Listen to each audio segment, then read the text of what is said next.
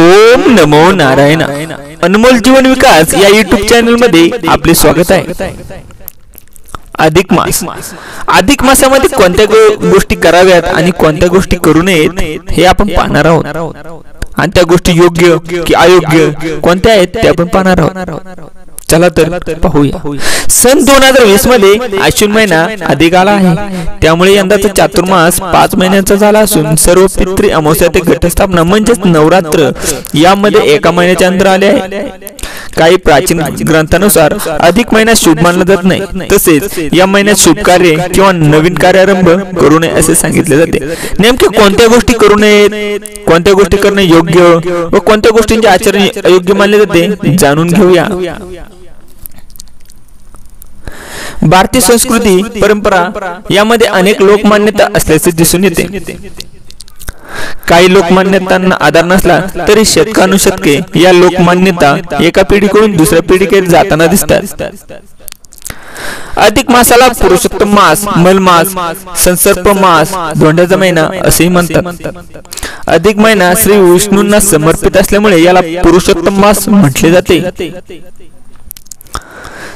सर्व पित्री अमावस्या ते घटस्थापना म्हणजे नवरात्र यामध्ये एका महिन्याचे अंतर आले आहे. खरमासाचा अर्थ. अधिक महिन्याला खरमास असेही म्हटले जाते. खरमास म्हणजे खराब महिना.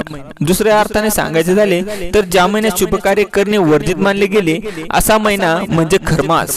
सूर्य दर तीस दिवसांनी तो तीस अंशांनी एक रास पुढे सरकतो.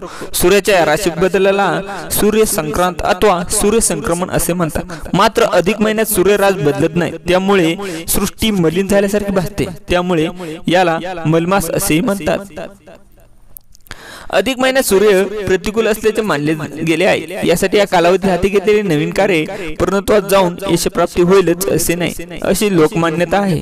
तसेच अनेक ठिकाणी अधिक महिना शुभ मानला जात नाही असे म्हटले जाते. विवाह अधिकारी वर्जित करावे. अधिक महिन्यात विवाहासारखे मंगलकार्य करू नयेत असे सांगितले जाते. अधिक महिन्यात केलेले विवाह यशस्वी होत नाहीत. वैवाहिक जीवनात सुखाची प्राप्ती होत नाही. जोडीदारांमध्ये नियमितपणे वारंवार भांडणे होतात. मतभेदाचे प्रसंग उद्भवू शकतात. दाम्पत्य जीवन वादग्रस्त बनू शकते. त्यामुळे सर्व बोलणी पूर्ण झाल्यावर विवाहासाठी शुभ मुहूर्त हा तर एक अधिक महिन्यापूर्वीच निवडावा. अधिक महिना संपल्यावर योग्य मुहूर्त पाहून विवाहाचे मंगल कार्य करावे. असे सांगितले जाते. विस्तार वा नवीन कार्यारंभ नको. अधिक महिना सुरू असताना व्यापार व्यवसाय उद्योगातील विस्तार योजना नवीन प्रकल्प लांबणीवर टाकावेत. नवीन कार्यारंभ करू नये असे सांगितले जाते. अधिक महिन्यात केलेले नवीन करार प्रकल्प योजना लाभदायक ठरत नाही.